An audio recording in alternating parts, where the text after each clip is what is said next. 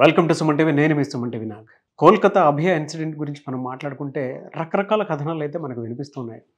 కొంత political point of view నుంచి చూసినప్పుడు మిస్లీడ్ చేస్తున్నారు అనుకునేటువంటి ఆలోచన ఒకటి ఉంటే ఆ రెండవ వైపు అంటే మొన్నటి వరకు జరిగినటువంటిది ఒక రకంగా విన్నటువంటి స్టోరీ అయితే వాళ్ళ కొన్ని ఊహించని మలుపులు మాత్రం వచ్చాయి. అండ్ కొన్ని కొన్ని ఆడియో సంబంధించినటువంటి రికార్డింగ్స్ కూడా బయ బయటికి రావడం జరిగింది.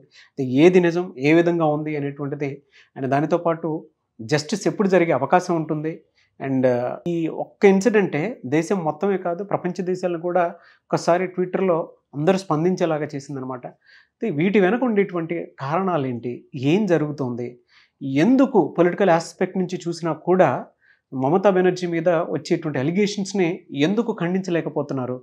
వెస్ట్ బెంగాల్ అసలు ఏం జరుగుతుంది అనేది ఈ రోజు మనతో పాటు సామాజిక విశ్లేషకులు పొలిటికల్ అనలిస్ట్ రామ్నాథ్ గారు ఉన్నారు. సో వారి మాటలో నాకు తెలుసుకుందాం. నమస్కారం అండి. నమస్తే రాజు. సార్ జనరల్గా మనం చూస్తూ ఉన్నామండి వెస్ట్ బెంగాల్ అసలు జరిగినటువంటి ఇన్సిడెంట్స్ మీద రకరకాల కథనాలు అంటే అభయ ఇన్సిడెంట్స్ మీద రకరకాల కథనాలు చూస్తున్నాం మనం. సో ఏం జరిగింది? అంటే ఓవరాల్గా మనం ఈ ఇన్సిడెంట్ ఏదైతే ఆగస్టు నైన్త్ జరిగిందో సో ఆ రోజు కొంత దేశవ్యాప్తంగా ఆ ఘటన గురించి పెద్ద చర్చ లేదు. సో తర్వాత అది దేశంలో చర్చ జరగడం ఈరోజు ప్రపంచవ్యాప్తంగా చర్చ జరగడం మనం చూస్తున్నాం. సో హైకోర్టుకి వెళ్ళడం హైకోర్టు నుంచి డైరెక్షన్స్ రావడం తర్వాత దాన్ని సిబిఐ టేక్ ఓవర్ చేయడం సిబిఐ కూడా ఒక మూడు నాలుగు టీమ్స్ ఫామ్ చేయడం. సో ఆ కోణంలో ఇది కేసు కొంత స్పీడ్ అయినట్టుగా భావించాలి. అలాగే ఒక సైడ్ ప్యారలల్గా ఏం జరుగుతుందంటే ఇప్పుడు సిబిఐ అంటే సహజంగా మనకు central bureau of investigation so అది కేంద్ర ప్రభుత్వ ఆధ్వర్యంలో ఉంటుంది. సో కేంద్ర ప్రభుత్వంలో బీజేపీ గవర్నమెంట్ ఉంది. సో అక్కడ మమతా బెనర్జీ గవర్నమెంట్ ఉంది. సో పొలిటికల్గా మమతా బెనర్జీ వర్సెస్ బీజేపీ అనేది మనకు దేశంలో అందరికీ తెలుసు. అంటే ఆమెకు కానీ బీజేపీకి కానీ పడ్డం లేదు. ఖచ్చితంగా వాళ్ళిద్దరి మధ్యన చాలా పొలిటికల్ రైవల్టీ ఉంది. మమతా బెనర్జీ వచ్చేసి ఇండియా కూటమిలో ఉంది. అటు సైడ్ బీజేపీ వాళ్ళొక యాంటీ కాబట్టి. సో వాళ్ళిద్దరి మధ్యలో చాలా డిఫరెన్సెస్ ఉన్నాయి. చాలా రోజుల నుంచి కూడా ఉన్నాయి. అంటే అక్కడ గవర్నర్ పెత్తనం ఎక్కువైపోయింది. ముఖ్యమంత్రి అంటే ప్రజలు ఎన్నుకున్నటువంటి వ్యక్తి. ఆమె పరిపాలన కాకుండా గవర్నమెంట్ ఆధ్వర్యంలో వ్యవస్థలు పనిచేస్తున్నాయని ముఖ్యమంత్రి బహిరంగంగానే విమర్శించడం. సో ఇదంతా ఒక రిఫ్ట్ మనం చూస్తున్నాం. సో ఈరోజు మళ్ళీ ఒక మహిళ పైన ఒక డాక్టర్ పైన జరిగినటువంటి అత్యాచారము మర్డరు ఈ అంశం కూడా పొలిటిసైజ్ తీసుకుంది.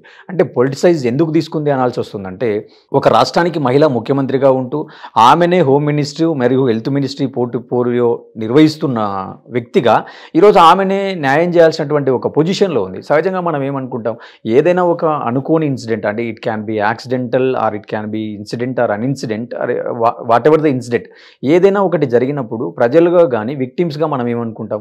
సత్వర న్యాయం జరగాల అనుకుంటాం అంటే ఏదైనా ప్రమాదం జరిగినప్పుడు బాధితులకు ఒక కాంపెన్సేషన్ ఇవ్వడం వాళ్ళకు ఒక నష్టపరిహారం ఇవ్వడం సహజంగా ముఖ్యమంత్రి స్థాయిలో మనం చూస్తుంటాం. అలాగే ఈరోజు అక్కడ జరిగినటువంటి ఇన్సిడెంట్ దేశాన్ని యావత్ ప్రపంచాన్ని ఆకర్షించింది.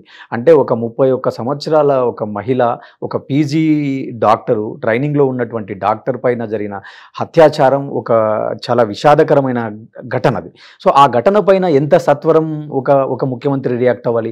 సో నాకు ఖచ్చితంగా ఈ ఘటన ఇరవై నాలుగు గంటల్లో తేల్చాలి లేదా దోషులను బయట పెట్టాలి ఖచ్చితంగా వాళ్ళను కఠినంగా శిక్షించాలి మీడియా ముందు పెట్టాలా అని చెప్పి ఎవరైతే ఆర్డర్స్ పాస్ చేయాల్సినటువంటి వ్యక్తి ఎవరైతే ఆ స్థానంలో ఉన్నారో ఆ వ్యక్తి రోడ్ల మీదకు వచ్చి ధర్నాలు చేస్తూ ఆ వ్యక్తి ఈరోజు ప్రొటెక్ట్ చేస్తూ ఉంటే అంటే ఇక్కడ ఈ ఈ సంఘటన ఎలా పోతుంది? అంటే న్యాయం చేయాల్సినటువంటి స్థానంలో ఉన్న ఆమెనే ఈరోజు బీజేపీని కానీ కేంద్ర ప్రభుత్వంలో కానీ రాష్ట్ర ప్రభుత్వాలలో ఇతర బీజేపీ పా- ముఖ్యమంత్రులు ఎవరు ఉన్నారో వాళ్ళకు కౌంటర్గా ఆమె ఏం మాట్లాడుతుంది? అంటే దీని వెనుక కమ్యూనిస్టు పార్టీలు బీజేపీ పార్టీలు ఒక పొలిటికల్ వెండేటాతో రాజకీయం చేస్తున్నాయి. వాళ్ళ రాష్ట్రాలలో జరగలేదా ఘటనలు? ఏమన్నా దేశంలో ఏమన్నా రేపులు ఎక్కడన్నా జరగలేదా? ఇంత ఘటనలు జరగలేదా? అనేటువంటి కోణంలో ఒక పొలిటిసైజ్ జరుగుతుంది.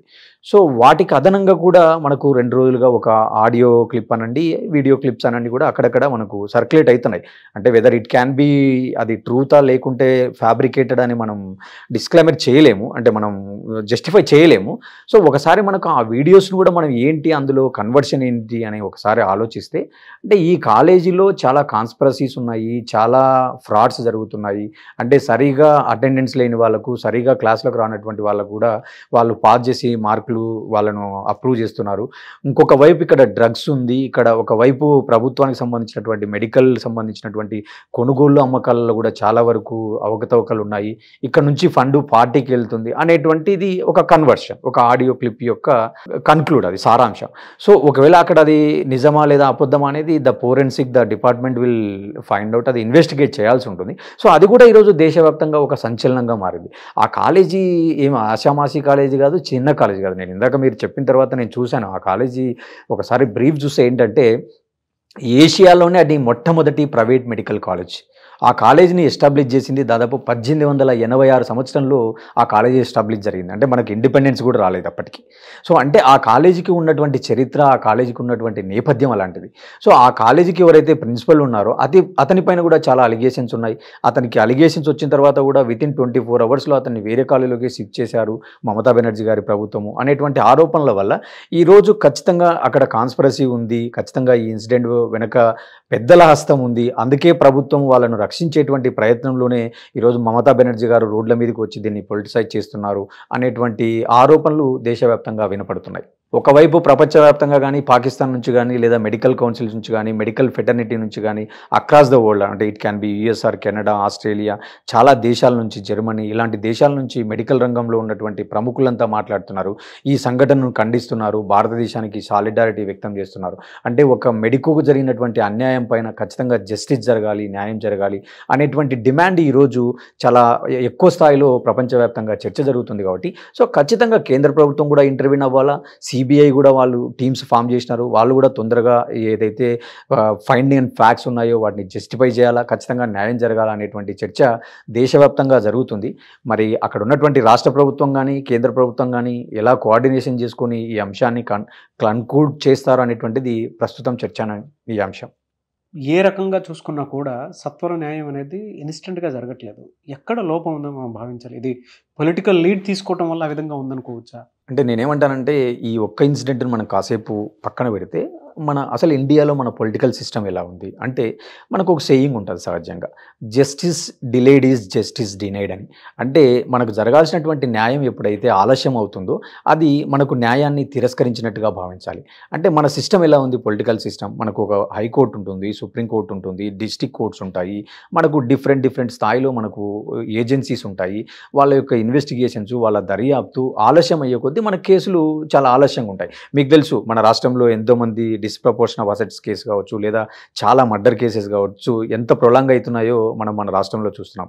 లాలూ ప్రసాద్ యాదవ్ గారు ఎప్పుడో ఆయన చేసినటువంటి ఒక కరప్షన్ కేసులో ఆయనకి ఎన్నో ఏళ్ళ తర్వాత శిక్ష పడ్డాం. అంటే మన జుడిషియరీస్లో కూడా ఒక ల్యాగ్ ఉంది. అంటే ఒక సమ్ లిమిటేషన్స్ ఉన్నాయి. ఈరోజు దగ్గర దగ్గర దాదాపుగా నాలుగు నుంచి ఐదు కోట్ల వరకు మన జుడిషియరీ సిస్టంలో కేసులు పెండింగ్ ఉన్నాయి. అంటే ఇక్కడ ఇవన్నీ మనకున్న మన సిస్టంలో ఉన్నటువంటి లూప్ హోల్స్ అనండి లిమిటేషన్స్గా చూడాలి.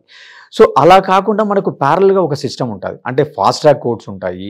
ఖచ్చితంగా అంటే మనం ఏమంటామంటే తొందరగా న్యాయం చేయడానికి ముఖ్యమంత్రి స్థాయిలో కానీ క్యాబినెట్ స్థాయిలో కానీ కొన్ని కమిటీస్ ఫామ్ చేసి ఆ కమిటీస్ ద్వారా వీళ్ళకు తొందరగా జస్టిఫై చేయాలా? అంటే ఏమంటారంటే సపరేట్గా కమిషన్స్ ఏర్పాటు చేయడం. సో ఇలాంటి కూడా ఒక వ్యవస్థ ఒక ప్యారలల్గా మనకు ఉంది.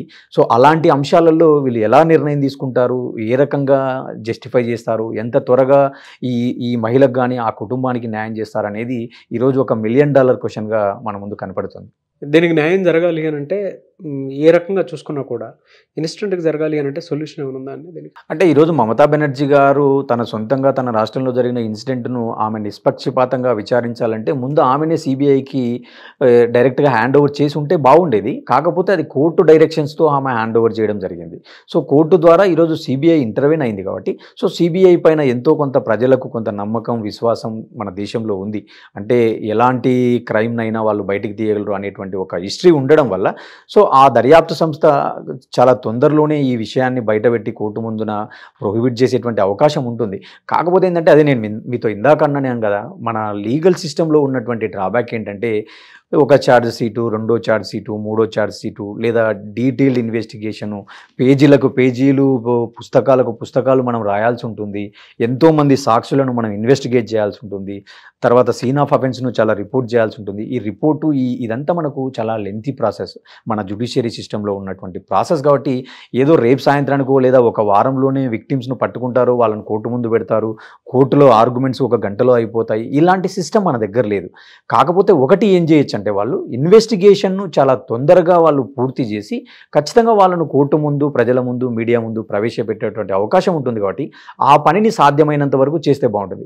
అంటే ఎందుకు ఈ మాట అనాల్సి వస్తుందంటే మనం చూసినాం మన దేశంలో నిర్భయ చట్టం నిర్భయ కేసు కానీ ఇలాంటివి ఎన్నో ఏండ్లకు కానీ మనకు తీర్పులు డెలివర్ కాలేదు వాళ్ళకు శిక్ష అవ్వలేదు అలాగే మనం ఇంకా ఇంకా కాస్త- కాస్త కాస్త ముందుకు పోయి మాట్లాడుకుంటే కసబ్ కేసు కూడా మనకు తెలిసిందే. ఆ రోజు ముంబైలో తాజ్లో హోటల్లో జరిగిన బ్లాస్ట్ల విషయంలో కసబ్ అనే వ్యక్తిని మన దేశంలో ఎన్ని సంవత్సరాలకు శిక్షించాం ఎన్నో రోజులు ట్రయల్స్ ఎదుర్కొన్నాడు ఎన్నో ఏండ్ల తర్వాత అతనికి కన్విక్ట్ అవ్వడం జరిగింది. సో అంటే మన జుడిషియరీ సిస్టంలోనే మనకు ల్యాగ్ ఉంది లిమిటేషన్స్ ఉన్నాయి కాబట్టి మనం ఇమీడియట్గా న్యాయం జరుగుతుంది రేపో ఎల్లుండో ఆ- నష్టపోయిన కుటుంబానికి న్యాయం జరుగుతుందని మనం ఎక్స్పెక్ట్ చేయలేం. బట్ ఏదేమైనా సరే ఈ అభియా కేసుకు సంబంధించింది త్వరితగతిన న్యాయం జరగాలని మాత్రం మనస్ఫూర్తిగా కోరుకుందాం yes Thank you so much, ప్రజలుగా. అది కోరుకోవాలి అందరం. Yes thank you so much Ramnath గారు. సో చూశారు కదండి వీడియో? జస్టిస్ ఫర్ అభయ అనేటువంటి హ్యాష్ ట్యాగ్ని ట్రెండింగ్లోకి వెళ్ళేలాగా చేసి సో ప్రతి ఒక్కరూ కూడా మన ఇంట్లో ఆడపిల్లకి జరిగినటువంటి ఇన్సిడెంట్గా భావించి పూర్తి స్థాయిలో త్వరగా దీనికి జస్టిస్ రావాలని కోరుకుందాం కింద కామెంట్ బాక్స్లో మాత్రం ఈ వీడియోని షేర్ చేస్తూ డెఫినెట్గా హ్యాష్ ట్యాగ్లో జస్టిస్ ఫర్ అభయ అని చెప్పేసి uh, ట్రెండ్ చేయండి దయచేసి.